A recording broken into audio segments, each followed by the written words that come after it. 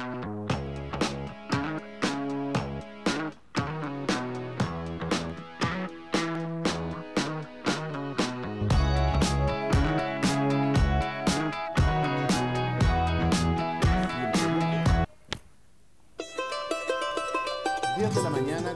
38 minutos, queridos amigos, y ya estamos de regreso en nuestro matinal Coffee Break. Les quiero recordar que nos pueden seguir a través de, nuestro, eh, de nuestra página www.canal21tv.cl. Estamos también en el cable claro, en el número 41, llegando a toda la región, inclusive Concepción, y por supuesto a través de nuestra señal abierta, que es Canal 21, el número 21. Vamos a presentar a continuación a nuestro siguiente invitado. Le vamos a dar la bienvenida a don Hugo Guíñez Mardones, es candidato a alcalde por nuestra ciudad y además es presidente de la Asociación Nacional de Adultos Mayores, ANAM Chile, quien se va a incorporar como panelista a nuestro equipo. Bienvenido. Hola, muchas gracias. Muy buenos días a ustedes, agradecido de la oportunidad que nos dan y también saludar a la audiencia, por supuesto, que es importante que, la televisión penetra, como decía alguien hace tiempo.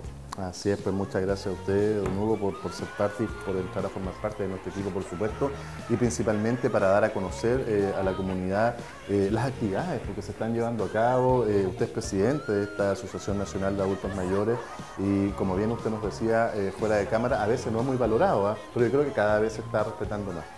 Sí, mira, la verdad es que cosa es que el, tema de envejecimiento y vejez en, Chile y en el mundo es sin lugar a duda uno de los temas más trascendentales que puede tener la humanidad hoy día. Está ocurriendo un fenómeno que es el, progresivo envejecimiento de las personas y, esto hace cambiar eh, los parámetros y cambia la sociedad. Eh, hoy día el mundo envejece eh, rápidamente y Chile no es la excepción. Chile es, el primero o segundo país de América Latina en el envejecimiento. Nosotros eh, aspiramos a, ya hace bastantes años, yo llevo en este tema que me apasiona, hace alrededor de 10 a 15 años, en el sentido de que eh, ya yo soy adulto mayor, hoy día la ley dice que el adulto mayor es la persona de 60 años arriba. Ah, ese es el rango, de 60 años. De 60 años arriba. Ahora, ¿qué es, lo, ¿qué es lo novedoso? Lo novedoso es que las personas de 60, de 60 años están bastante bien eh, yo diría anímicamente, eh, no, tan, no tan bien anímicamente, sino que bien físicamente, porque anímicamente como que se sienten un poquito, nos sentimos realmente postergados. Además que las proyecciones de vida cada vez han aumentado más también. Una persona con 70 años está perfectamente activa para desarrollar cualquier actividad remunerada, insertarse en la sociedad, ¿por qué no? Claro, está comprobado que estamos viviendo 30 años más. 30 años más. 30 años más. Y la mujer vive más que nosotros. También generalmente la diferencia de edad de nosotros con las, con las, con las damas es de, de 6 a 7 años, eh, que viven ellas más que nosotros. 6 a 7 años más. Debe ser porque las cuidamos demasiado, pero, pero, pero, pero ese, ese, es un poco el, el, rango que se da. Ahora, ¿qué es lo interesante y por qué yo es tan valioso la oportunidad que ustedes nos dan? Eh, el tema del envejecimiento eh, no es un tema muy atractivo para la sociedad. Hoy día la sociedad está implícita en tener, en producir y en tener dinero. Hoy día el materialismo y el consumismo impera en nuestra sociedad. Y la juventud, por supuesto, al haber tanto avance tecnológico, se deslumbra con todo lo nuevo que está saliendo. Los mejores celulares, los mejores autos. Entonces, yo te digo, hoy día los cabros generalmente están pues no todos, pero la mayoría va a, las clases con su celular y yo diría, no sé quién no tiene celular. Entonces, la tecnología ha hecho que es un cambio fundamental en la sociedad, cambió los valores, eh, y eso es un hecho. Y para nosotros, que somos los principales y más afectados testigos de que los cambios sociológicos que han ocurrido son enormes. Entonces, ¿qué es lo que busca el hombre? Sostengo yo y sostenemos muchas personas. La felicidad, el bienestar. Ese es el fin, porque todos buscamos, ¿cierto? Exacto. Como lo dicen los grandes filósofos, el fin último es la felicidad. Claro, y nosotros que estamos por, por, por yo diría, en la, en la, terminando las queremos terminar bien, porque queremos irnos contentos, claro. que no es muy agradable morirse, pero queremos irnos... Con cosas pendientes al, también. menos pasando, pasar los últimos tiempos un poco mejor, y nos está ocurriendo. Don Hugo, ¿le parece si le comentamos a nuestros televidentes de qué eh, se va a tratar esta sección, para que la gente también así vaya haciéndonos sus preguntas, el lugar en el cual se reúnen, cuáles son las actividades que se llevan a cabo, ¿le parece? Por supuesto, mira, nosotros, nosotros pretendemos en este, iniciar en este, este esta oportunidad que ustedes nos dan, iniciar un, ciclo de información ¿no es cierto?, de todos los días viernes, de, a las 10 y media, de información sobre lo que es el envejecimiento y la vejez. Nosotros las personas mayores, yo diría que somos el, el sector de la sociedad mejor organizado.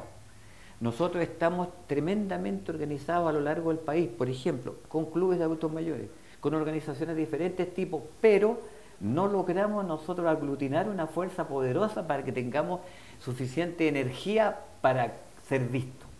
Una de las cosas que nosotros nos quejamos es, y, con razón, es que no se nos ve. La, visibilidad, la, visibilidad del adulto mayor en este instante es muy poco. Nosotros, agravando la situación, nos sentimos postergados, nos sentimos maltratados y nos sentimos olvidados. Porque es, triste, porque lamentablemente después de haber entregado toda una vida de esfuerzo, con mayor o menor participación, pero lo hicimos todo. Todas las personas mayores hicimos el aporte. Entonces también tenemos derecho. Ahora hay una novedad muy interesante. Se ha hecho mucho por, por el adulto mayor en el sentido de investigar, de diagnóstico y de situaciones. Pero no se logra eso hacerlo carne, hacerlo realidad. Nosotros nos, tenemos problemas muy serios en la salud, en la educación, en el trabajo, en la vivienda, en la seguridad ciudadana. Entonces, las personas que deciden, es decir, las autoridades y los políticos, le entregan al adulto mayor la palmadita en la espalda, el, que bueno el abuelo, el ancianito, o qué sé yo, esto, porque votamos generalmente, somos las personas que nosotros cumplimos con los deberes cívicos. Entonces a nosotros cuando en los momentos de elecciones se nos llama, se nos convoca, o se les da por intermedio de los municipios baile entretenido, paseo a la nieve, oye, estupendo eso, pero no son los problemas que nosotros queremos. Hoy día son muy graves los problemas en los hogares de ancianos, en los hospitales, y en la sociedad misma. y todo eso lo vamos a estar informando, por supuesto. Exactamente, nosotros queremos, queremos el, el, objetivo fundamental nuestro como asociación es visibilizar el adulto mayor. Nosotros queremos tres cosas. Primero, un ministerio del adulto mayor. ¿Por qué razón? Porque el ministerio va a ser el instrumento y sería el instrumento del mismo nivel para hablar en el mismo rango con todo eh, arriba en los poderes que deciden en este país. El ministerio, esa es la razón. Hay personas que dicen, pero ¿para qué un ministerio más burocracia? No, es que a nosotros nos da la oportunidad de estar, de estar dentro, de estar decidiendo y abarcar el sector. Nosotros somos más de 3 millones de, adultos mayores y ya estamos casi en los 3 millones y medio. Claro, si nosotros podemos cambiar una elección, nosotros podemos cambiar, pero muchas cosas. y usted de elecciones sí que sabe. Pues, ¿ah? pero, claro, entonces ahora, otra cosa importante de nosotros, nosotros queremos estar en la contingencia. Nosotros por la experiencia que hemos tenido y la que hemos vivido tenemos mucho que opinar. Por supuesto. Si nosotros no somos paquetes, nosotros queremos aportar, no quiero que, mira, nosotros ni siquiera queremos que nos ven. ¿ya? Ahora, hay un error. Muchas veces la gente dice el abuelito, el ancianito. Yo tengo tres, tengo ocho nietos, pero son mis nietos. Yo los otros no son mis nietos. Entonces, yo no soy abuelo de nadie más. Entonces, esa es la idea. Eh, que, que, el trato de nosotros sea igual. No le digan, mira, usted, le hablan como chiquitito nos ridiculizan. Claro, como minimizando. claro, o sea, nada que ver. O sea, nosotros somos personas iguales. Además, curtidos por el invierno y por el verano, pues señor. y por todo lo que ha pasado. Además, además. Claro, bueno, una vez al año nos vemos a todos en la plaza celebrando que pasaron agosto. Claro. Ven usted, ahí hacemos una noticia. Y después, y después se apaga, se apaga la luz hasta el otro año. Bueno, don Hugo, y también usted nos va a estar ayudando, por supuesto, a desarrollar un poco de temas de contingencia. Usted es una persona preparada, una persona eh, estudiada, por supuesto, y están ocurriendo cosas todos los días acá en nuestra ciudad, en nuestra sociedad, y por supuesto usted también como una persona informada, vamos a poder comentar un poco de contingencia, ¿le parece? Por supuesto, y mira, y si ustedes me van a permitir, y eso una vez lo, lo venir con personas, con otras personas, o profesionales, otros adultos mayores, u otras personas, para poder compartir este asunto y que esto se vaya haciendo una red para poder, porque en todas las casas hay un adulto mayor. Claro que sí. Oye, si la gente que es joven dice, no, pero yo no me preocupo, y igual va a sacar patente, pues se saca en el último día. Y cuando uno, ¿cuándo se preocupa del adulto mayor? Va al último, va al final. Y cuando las personas ya están, que se van. Entonces, no, hay que preocuparse antes.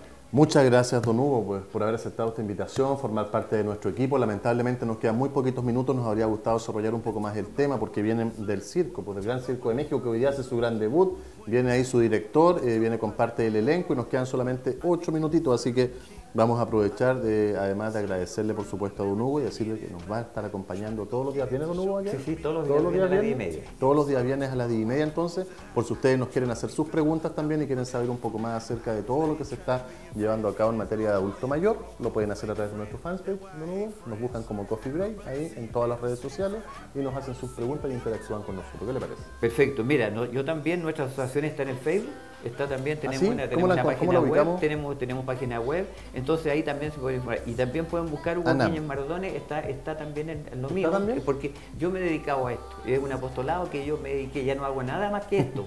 ¿ah? Y como tengo buena pensión, le permite. horrible, horrible, horrible. Ese otro, Oye, no ese otro tema, ese se va a dar para un mes completo programa. Exacto. Un abrazo grande a todos y que Dios los bendiga. Muchas, gracias. y que tenga una excelente jornada. Pero estupendo, amigo mío. Muchas gracias. Y nosotros vamos a ir a continuación, por supuesto, a nuestra última pausa comercial. Recuerden, estimados amigas, que todos quienes participaron por nuestro concurso para las entradas del gran debut del Circo de México, vamos a estar eh, pasando los audios por WhatsApp. Recuerden que el concurso era, era decir con voz de payaso, yo quiero una entrada para el cine. Todas eh, las entradas ya están eh, regaladas, lamentablemente ya no, nos quedan más para sortear, pero tienen que esperarnos en el siguiente bloque porque como bien les dije, vienen del Circo de México, vienen con los malabaristas aquí y vamos a hacer una mini demostración y vamos a ver los audios de los ganadores. ¿Qué le parece, Don Hugo? Estupendo, me Estupendo, ¿por cierto? Vamos entonces, vamos entonces junto a Don Hugo a la última pausa y ya regresamos con el último bloque de Coffee Break.